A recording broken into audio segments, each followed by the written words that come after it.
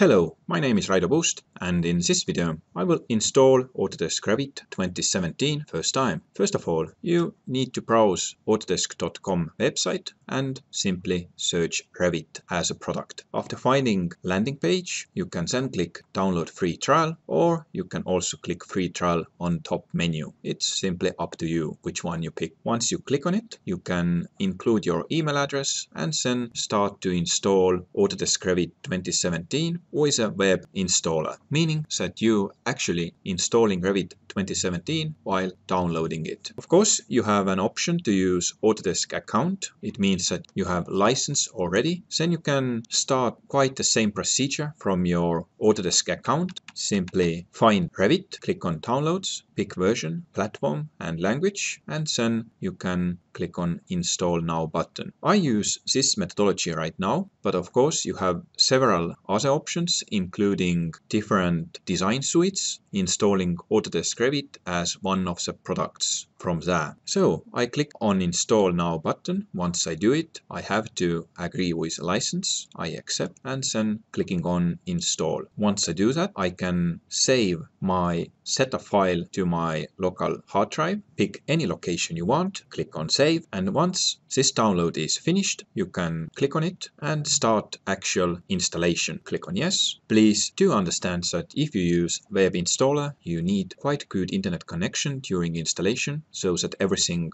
will go smoothly. And as you see, the first package that will be downloaded is approximately 500 megabytes. So we have to wait just a little bit. Once your download has finished, you can start with actual installation. Please note that using web installer, you don't have an option to create a deployment. You can start directly with installation or you can have a look to install tools and utilities section. So let's do that first. Click on install tools and utilities. And from here you can see that you have an option to install network license manager if you plan to use network license, of course, then this is needed on a license server. Then you have an option to install Autodesk CAD Manager tools, Revit Server, and also if you are a developer, then Revit Software Development Kit. I skip all those and go back and clicking on actual install button. Installation requirements will then be determined and after this process is finished, I can start to tune my installation. Of course, my main interest is Autodesk Revit 2017, so I click on that and I can then select different subcomponents what I want to install. I include most of them. Perhaps as I'm metric user, I deselect Imperial. I also want to have desktop shortcut, so I leave this. Because Revit in nature includes each and every discipline, I also want to ensure that all is selected here. But if I'm working only at architecture or at construction or MEP side, then I can select my discipline. Later on, I can tune my user interface as I want to. I can use also UK terminology. For example, I use British English and I can select my default project path. I then click on Revit 2017 again to close this one and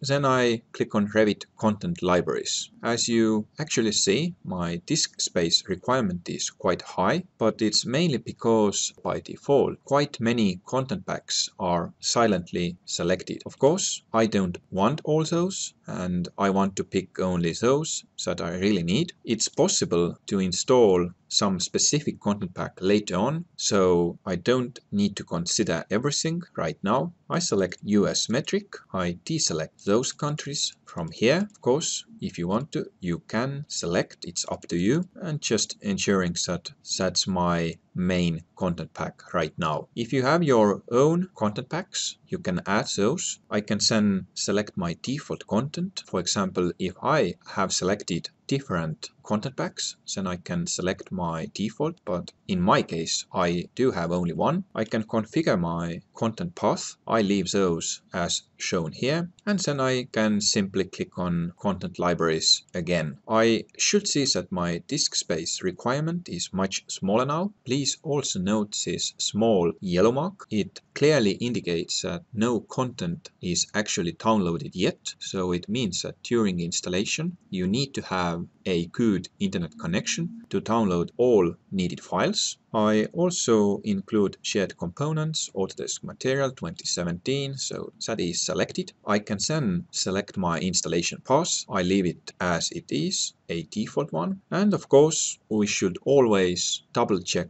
for example, system requirements, what is needed from a hardware side to install and use Revit 2017, also some additional help from installation side and some general read map. Those are web links and you can click on those to ensure successful installation. All my selections are configured, so I can move on and just clicking on install button. I may get notifications that I have some earlier version, so it's okay. Just um, ensure that your installation can continue, uninstall existing products, clicking on yes, and continue with my Revit 2017 installation. Please also note that I do need some additional downloading. Again, depending my internet connection speed, my installation in that way may take a bit longer than it used to. Right now, we should simply wait a little bit. Altogether, we have 16 components, including programs like Revit 2017 itself. If this number counts to zero, I should see successful message that my installation went well. So let's wait a little bit and we come back later. Alright, as my installation has finished, I can see a green check mark if my installation was successful. Currently it was, so all good. And I can close installation dialog clicking on finish button. After that I should see my Revit 2017 icon and I can fire up Revit 2017 first time. So let's do that. Once I fire up it first time I need to decide if I want to use a trial license to use a product for 30 days or I can directly enter a serial number or use a network license. So That's one of the good things that now you don't have to reinstall your product if you want to switch in between different license types. You can do it once you need it firing up the same dialog from your software. I'm currently starting a trial license, so I click on start the trial and my Revit 2017 will be loaded first time. Alright, here I am and I can see that my trial license will end in 30 days. But if I want to, I can go to activation screen and license my product. In my next video, we have a quick look about some shiny new features in Revit 2017.